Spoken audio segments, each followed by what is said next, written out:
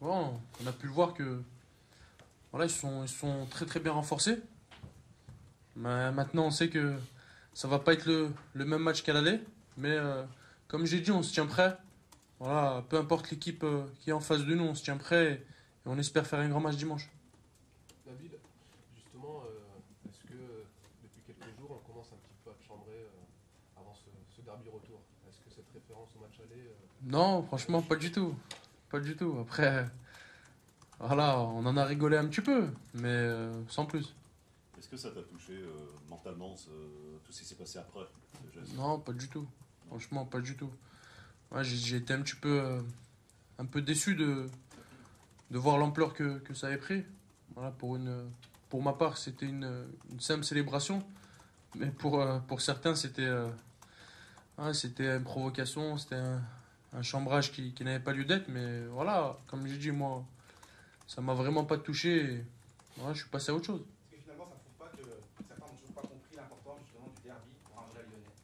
Ouais, peut-être, peut-être.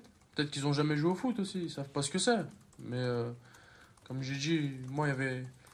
il y avait rien de, de, méchant ou quoi que ce soit. Nabil, il reste 3 mois de compétition. Euh, et dans 4 mois, il y, a, il y, a, la Coupe du Monde. Est-ce que tu te dis que là, euh, tu as déjà fait une très bonne saison pour l'instant? Est-ce que tu te dis que malgré tout, ça peut se jouer aussi sur ces 3 derniers mois de, compétition? Bien sûr. On retient souvent la fin. Après, euh, le sélectionneur, il est intelligent. Voilà, il, aura des choix à faire. Il fera ses choix. Maintenant, nous, voilà, on est, dans nos clubs. On essaye de donner le meilleur de nous-mêmes. Franchement, sans, j'essaye de ne pas trop y penser. Même si c'est dans un petit coin de ma tête, c'est normal. Mais voilà, je me, je me pose pas de questions et, et je donne le meilleur de moi-même à Lyon. Malgré tout, est-ce que euh, le derby, le match à Marseille, un gros parcours en Ligue Europa, tout ça, ça peut t'aider quand même euh, fatalement euh, Bien sûr, ça peut m'aider. Après, voilà, je pense que, que le sélectionneur connaît, connaît déjà les joueurs. Voilà, il a déjà les, les joueurs qu'il veut sélectionner en tête. Après, peut-être que ouais, 2-3 matchs, ça peut, ça peut l'aider, mais honnêtement, je pense pas. Nabil, tu as bien placé parmi les, joueurs qui prennent quand même beaucoup de coups. Là, je crois qu'hier, c'est encore 6 ou 7 fautes sur toi.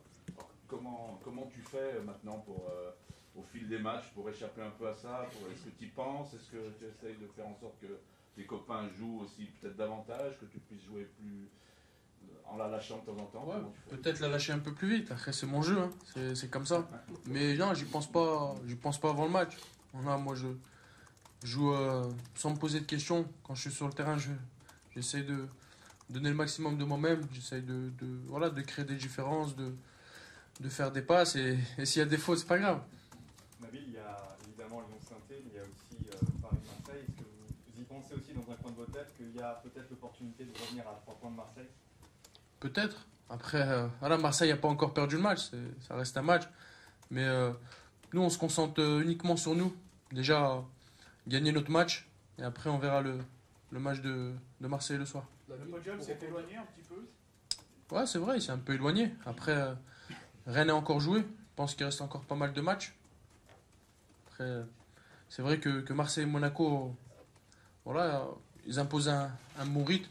Ils ont euh, je pense qu'ils ont des, des, bons collectifs. Maintenant, comme j'ai dit, il reste pas mal de matchs pour, pour qu'on essaye de, de les rattraper rebondir un peu sur la question de Christian, tu es aussi euh, dans le top 3 ou top 4 des joueurs qui font, euh, qui font le plus de fautes en Ligue 1. Est-ce que tu lis euh, ce fait-là aux fautes que tu subis On voit que c'est souvent il y a un petit peu d'agacement. Non, non. Après, j'essaye de, de, défendre. Je suis pas le meilleur des défenseurs, mais c'est pour ça que je fais un peu de fautes. Mais non, c'est pas, pas du tout lié à un agacement. Tu as, le sentiment de prendre trop de cartons Ouais, peut-être. Après, il y a des cartons, franchement. voilà. C'est pas mérité. Comme celui d'hier, c'est vrai, je le touche un peu, mais voilà, pas grand chose. Mais bon, c'est comme ça. David, pour euh, évoquer un petit peu la question de, ton entraîneur, Bruno, Genesio a senti euh, très touché après euh, le match de Lille. On sait que depuis qu'il est entraîneur de, votre équipe, il y a eu des hauts, des bas. Toi, comment tu juges entre guillemets son aventure depuis sa prise de fonction et comment tu l'as senti ces derniers jours?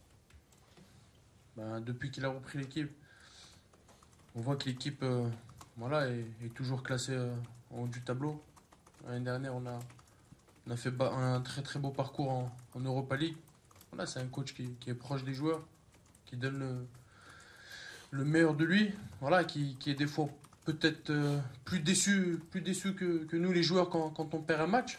Voilà, donc euh, non, comme je dis, voilà, c'est quelqu'un de voilà qui fait qui fait très bien son son boulot et j'espère qu'il va continuer encore longtemps. Lyon. Les critiques qui peuvent le toucher, euh, ça vous touche à vous aussi? On sait que l'année dernière c'était peut-être un peu compliqué en Normal. lui, mais cette année c'est Ouais. devenu proche. C'est normal. C'est normal. En plus, euh, voilà, honnêtement, il y a eu des critiques qui n'avaient pas lieu d'être. Mais c'est comme ça le monde du foot. euh, On n'en a pas droit à l'erreur. Il n'y a, pas de cadeau. Mais voilà, Bruno, voilà, il, il est grand et je, sais- je sais qu'il il essaye de ne de pas, de pas prêter attention à ça. Pour revenir un peu sur ton histoire avec, euh, avec les derbies, tu es rentré dans l'histoire du derby euh, lors du match aller. De manière un peu plus générale, comment, euh, depuis euh, ton enfance, comment tu décrirais un petit peu cette histoire avec, euh, face à Saint-Etienne? Ouais, c'est vrai que c'est c'est un match un peu spécial quand on est lyonnais ou, ou même stéphanois. Voilà, là, là, j'ai eu- on a eu la chance de voilà, de rentrer un petit peu dans, dans l'histoire du derby, si on peut dire ça comme ça. Et ouais, c'est vrai que c'est franchement c'est c'est des matchs qui, qui donnent beaucoup de plaisir et c'est des matchs que, que tous les joueurs ont envie de jouer. Quand tu étais à Vaux ou à Saint-Priest, est-ce que tu avais joué aussi contre saint Est-ce que c'était aussi des, joueurs, des matchs euh, un peu particuliers aussi? Ouais, j'avais joué avec Saint-Priest. Mais euh, voilà, c'est rien d'exceptionnel. C'était un match simple. rien à voir avec l'Olympique Lyonnais. Tu l'avais pas gagné peut-être Si, ah, on avait perdu deux. Ah, c'est pour ça. C'est pour ça aussi. hein. Mais dans les derbies, il y a une pression euh, particulière. Enfin, comment, comment ça se passe dans, dans, dans vos têtes? Parce que c'est énormément attendu aussi par les supporters. Ouais, même, pas, même par nous. Nous, les joueurs, le, staff, tout le club. C'est énormément attendu. Après, euh, nous, on se met pas de, de pression, de pression spéciale. On essaye de, comme je dis à chaque fois, de donner le meilleur de nous-mêmes sur le terrain. Voilà, qu'on gagne, qu'on perde, plus important, c'est de ne pas avoir de regrets et d'avoir donné le maximum sur le terrain.